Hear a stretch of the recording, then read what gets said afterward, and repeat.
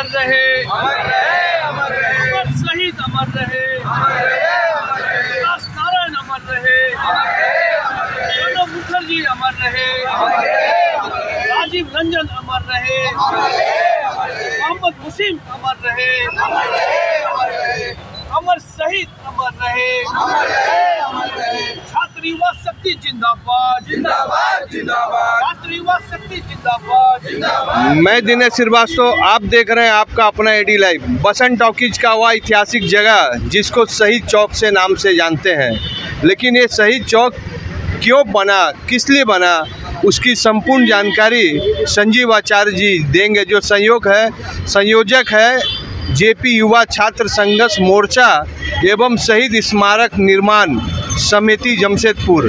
तो बात करते हैं संजीव आचार्य जी से कि आपके पास दो पद है, शहीद स्मारक निर्माण समिति। तो क्यों शहीद स्मारक निर्माण समिति का आपने गठन किया और उसका क्या उद्देश्य है, इसके लिए आपने क्या क्या तैयारी कर रहे हैं? देखिए, शहीद स्मारक निर्माण समिति भारतवर्ष के उन क्रांतिकारी महान स्वतंत्रता सेनानियों के लिए है, जिन्होंने प्राणों की आहुति दिया देश की आज़ादी के लिए, देश के मान सम्मान के लिए, यहाँ के स्वाभिमान के लिए।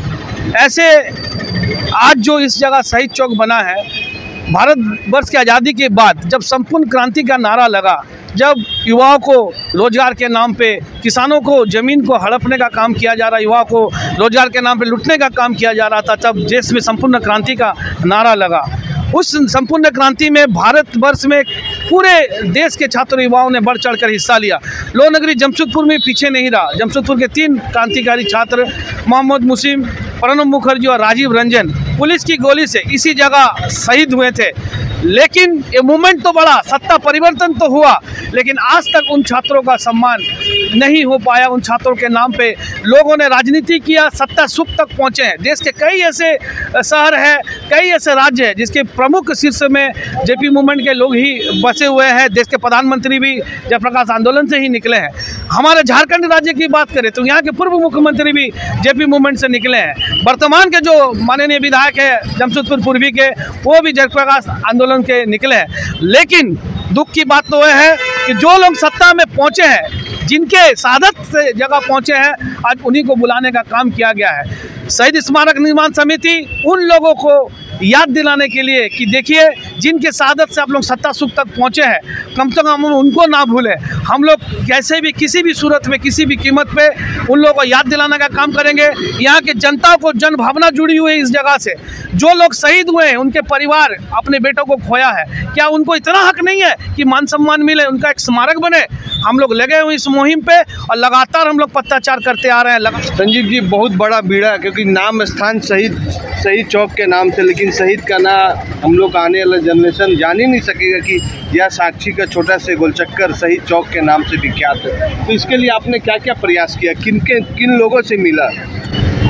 देखिए मैंने अभी तक जमशेदपुर ही नहीं झारखंड के जो भी सर्वे मान्य में रहे हैं पूर्व मुख्यमंत्री की अगर मैं बात करूँ बाबूलाल मारंडी, पूर्व मुख्यमंत्री मधु कोड़ा झारखंड के हमारे, बिहार के समय से माधवलाल सिंह जो परिवहन मंत्री थे, हमारे कृषि मंत्री, हमारे स्वास्थ्य मंत्री, सारे लोग, मैं किन किन का नाम गिनाऊं? सारे लोगों को मैंने इसी जगह बुलाया, इसी जगह मैंने उनका सम्मान दिया और हाथ जोड़ के विनती किया कि, सर, जिस शहीदों के स्मारक, जिस जगह से आप लोग सत्ता सुख तक पहुँचे, कम से कम उनके लिए प्रयासरत करें।